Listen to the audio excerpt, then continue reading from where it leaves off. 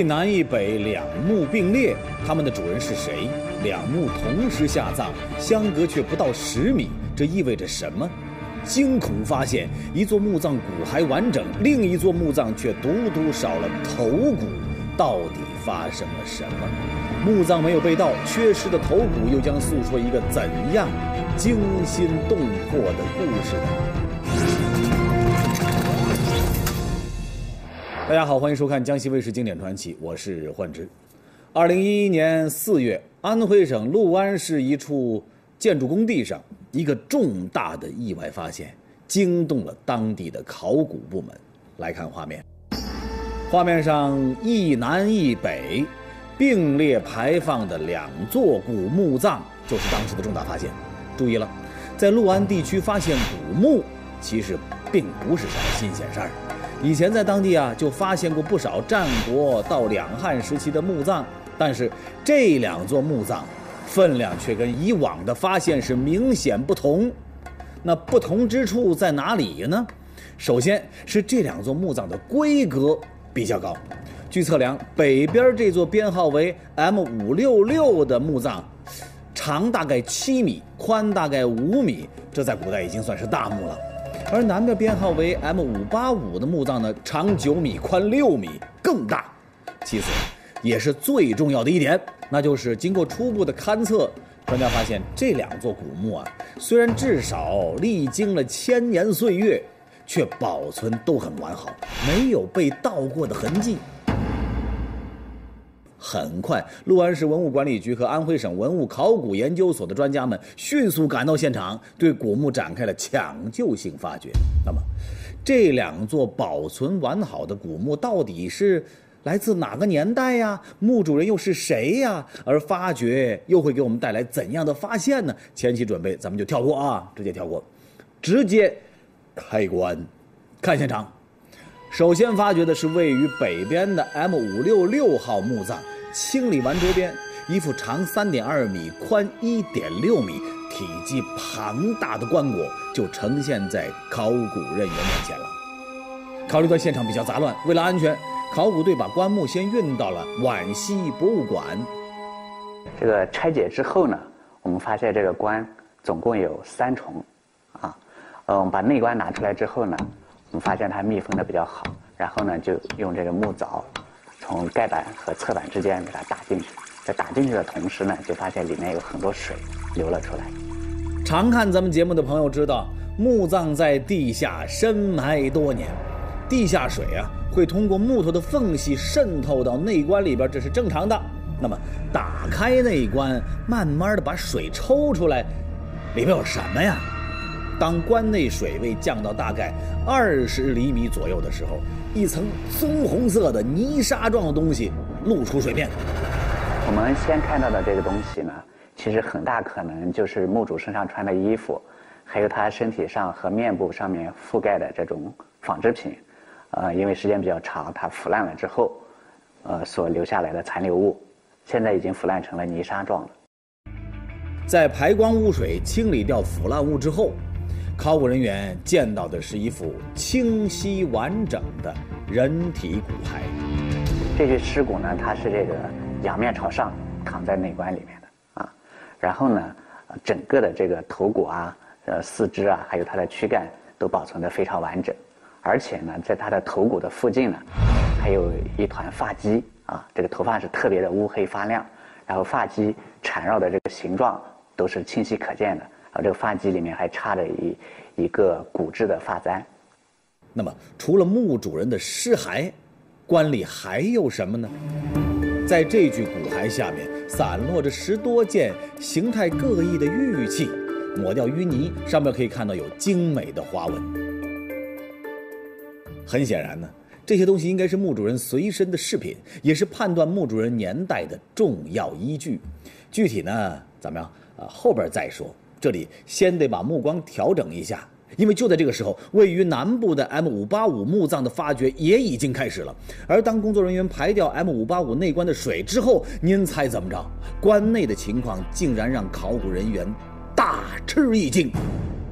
M 五八五，我们开挖会发现这个人形骨骼比较凌乱，没有发现头颅。奇怪啊，当时的考古人员把棺内仔仔细细查了好几次，确认棺内确实没有头骨，脑袋不见了，哪儿去了？烂了？不太可能啊！您看，这一南一北两座墓葬相隔距离不超过十米，他们所处的地下环境基本是一样的呀。而从棺椁发掘的情况来看，也证实了这一点，所以不应该存在一具尸骸保存完整，另外一具尸骸烂掉头骨的情况啊。更何况，人体骨骸当中头骨的密度是最高、最硬的，也是最不容易腐烂的。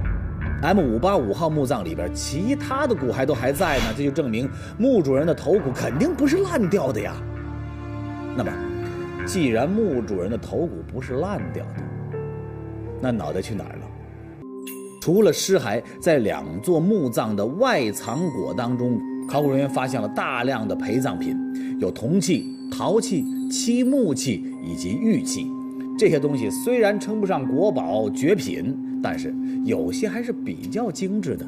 您看这四枚铜镜，瞧它们背面的花纹，纹路清晰，做工精良啊。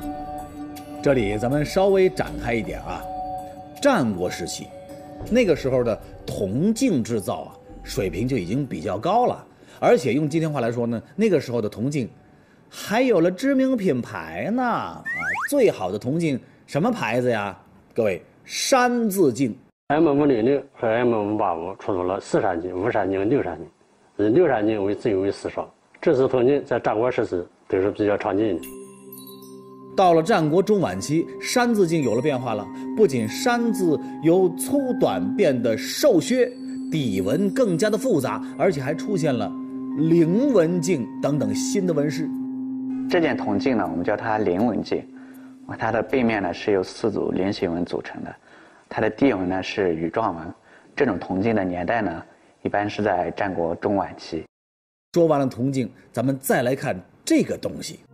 这东西是在 M 五八五号墓葬发现的。您看它短颈骨腹平底三足，肩部有一对内穿铜环的半环形耳，顶盖鼓起，边缘斜收，从顶盖到全身都布满了纹饰。您看这个，这是专家们对这件铜器上的纹饰做的拓片，有的像鸟，有的像龙，以羽状纹或者云雷纹作为衬托，那是相当精美啊，考究无比。那么。这一件是什么东西？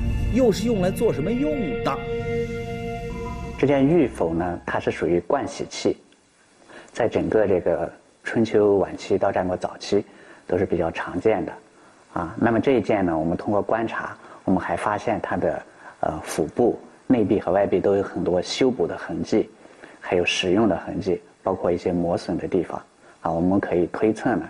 这件玉否是墓主人生前长期使用过的，也就是说，它的铸造的年代是早于这个下葬的时间的。战国时期列国纷争，墓主人究竟是哪国人？石鼎随葬，这完全不符合周礼。奇怪的葬品该如何解释？骨骸鉴定，两千多年前他们几乎同时下葬，这其中到底暗藏着什么秘密？陆安楚国双墓之谜，经典传奇为您解密。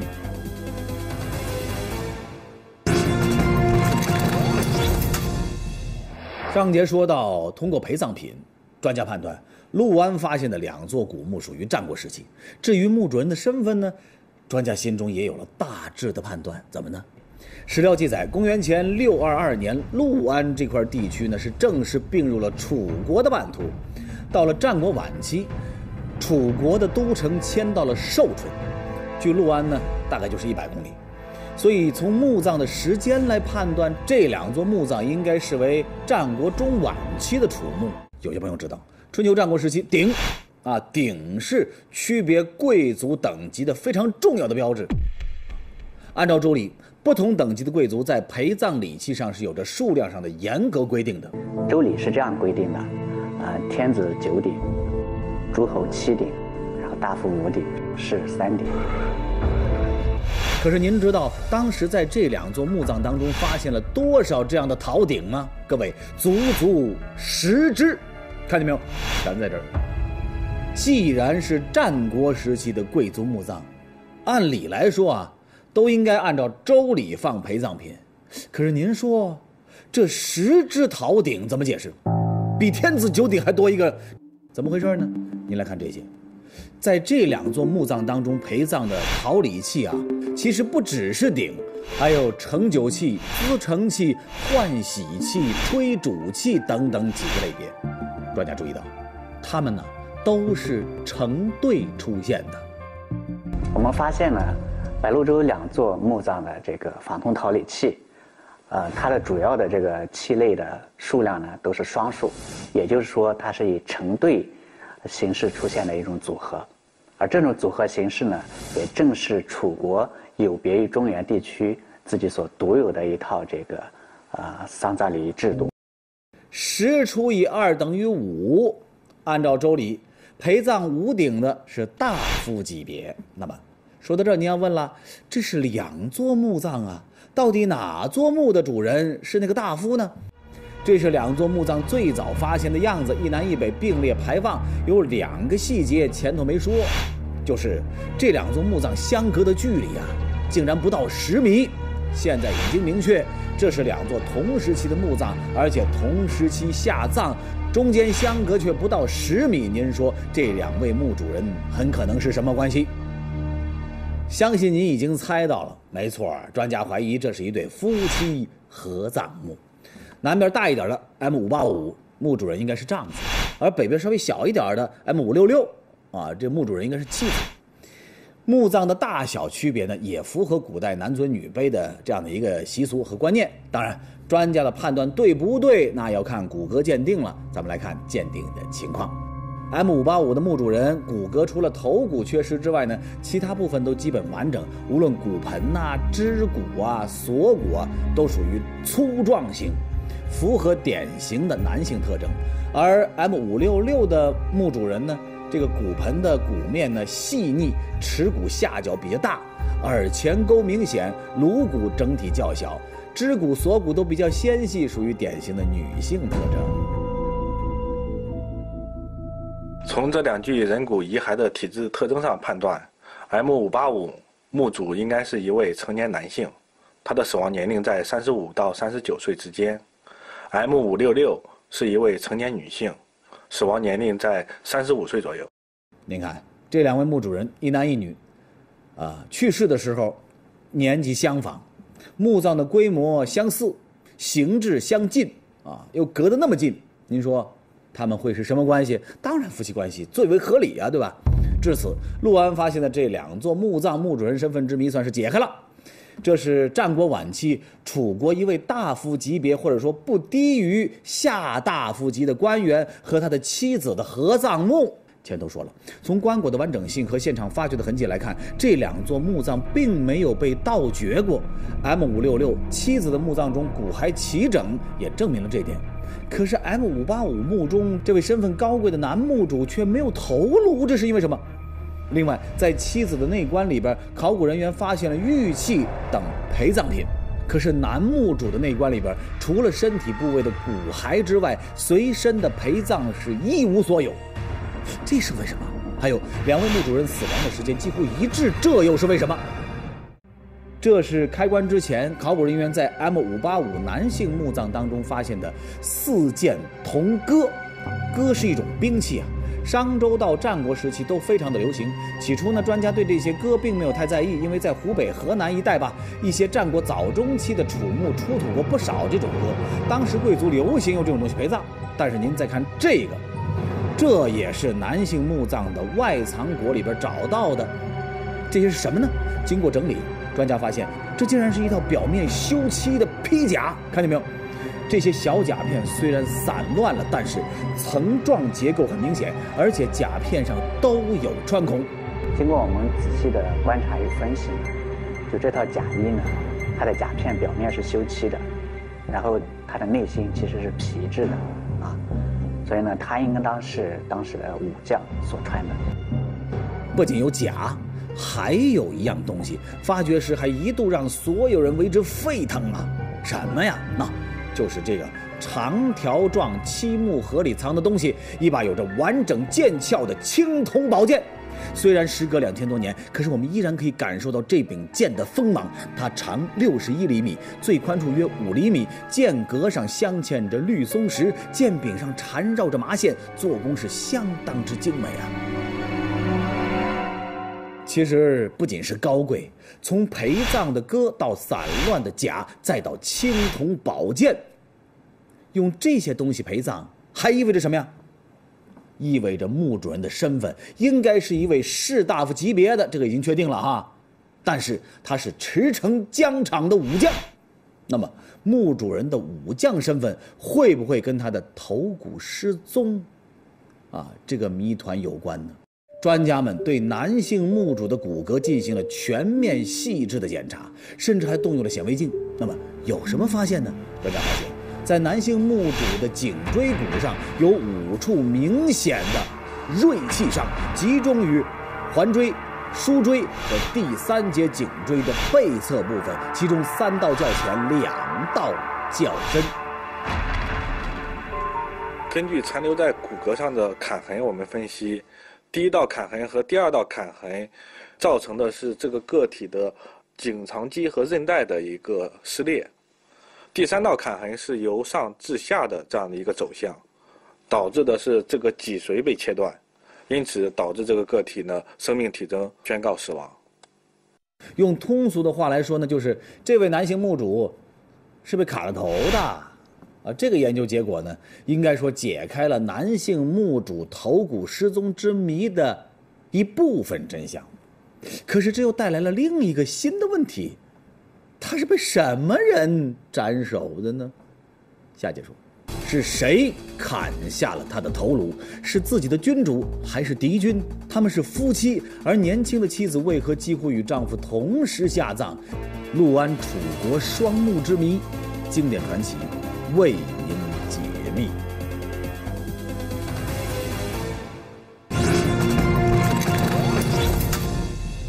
上节说到，通过检测 M 五八五墓主的骨骸，专家确认他是被砍头而死。可是，究竟是谁砍了他的头啊？为了解开这个谜团，你看这考古专家多厉害，连这个谜团都能解开，是吧？研究人员呢，接着对这个 M 五八五墓主剩余部分的尸骨也进行全面的检测。在 M 五八五墓主的右手的第二掌骨上，研究人员发现了一道骨折的痕迹。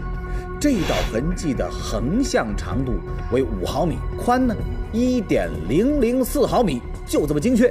并且从受力方向来看，它自远而近，应该是被锋利的兵器横削导致。从这个手掌的砍痕上来分析，应该是在近身格斗的过程中导致的。因为在作战的时候，手持兵器，手背哎暴露在外侧，更容易受伤。而受刑人在被斩首的时候，他的手是捆着的，不会导致这样的砍痕。这里咱们要补充一点生命科学的知识了。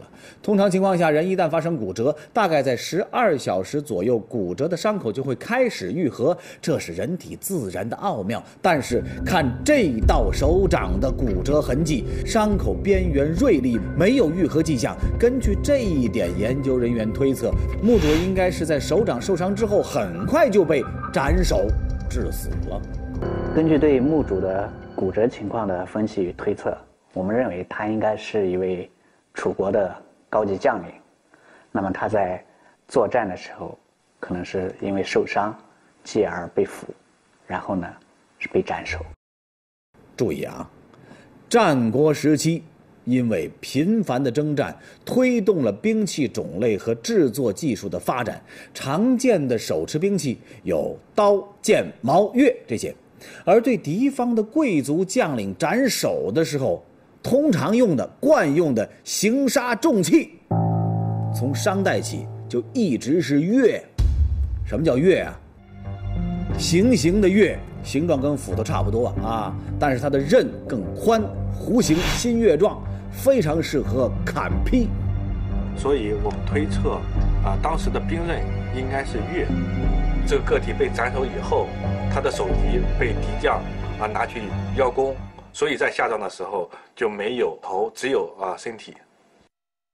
这应该就是 M 五八五墓主木有脑袋的最大可能啊，就没有头骨嘛啊。作为这个楚国的一位高级将领，他在战场上受伤被俘，被敌军斩首。那么，和他同营一学、并肩而葬的妻子，又是因为什么会和他差不多同时间死去呢？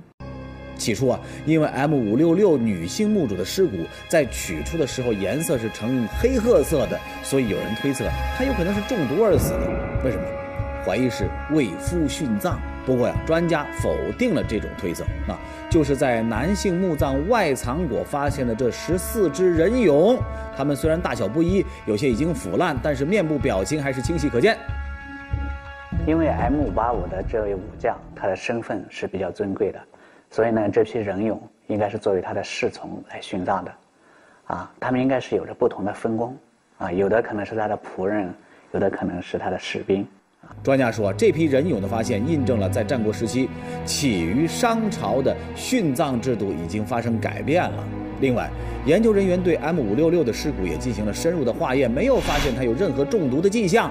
那么对他的骨骸仔细的检测也没有发现明显致命的伤痕，也就是说，女性墓主为丈夫殉葬而死的可能性是微乎其微的。那她怎么死的呢？应该是自然死亡。但是专家说，她的自然死亡又很有可能是非正常的自然死亡。什么叫做非正常的自然死亡呢？其实还蛮伤感的。简单说就是。他们夫妻感情至深，可是丈夫突然战死沙场，啊，被敌军枭首，妻子痛彻心扉，肝胆俱裂，因为思念丈夫，没过多久，郁郁而终。这是研究人员通过 CT 扫描 M 五六六号墓主的头骨，先得到相应的数据，再通过图像重构而获得的三维人脸模型。专家说，从得到的这个脸部图形来判断，M 五六六号墓主很有一点蒙古人种的特质。经过一次次的调整，M 五六六墓主的复原人像终于清晰地呈现了出来。怎么样？算是美女啊！不仅复原了面部，研究人员还按照战国时期楚国妇女的装扮，结合出土时发髻的样式，为她恢复了发型，并配上了那个时期妇女的常用妆容。当年这位年仅三十五岁的墓主人，他头枕玉璧，高高的发髻上装点着古簪和玉花，串状的佩玉垂在腰间，脚下踏着两条气宇轩昂的玉龙。他希望以这样的装扮去追寻他的，一同飞升极乐世界。今天节目就是这些了。关注栏目的官方公众号“江西卫视经典传奇”，扫描屏幕下方的二维码，您不仅可以观看往期精彩节目视频，还可以参加各种线上线下的活动。咱们下期再见。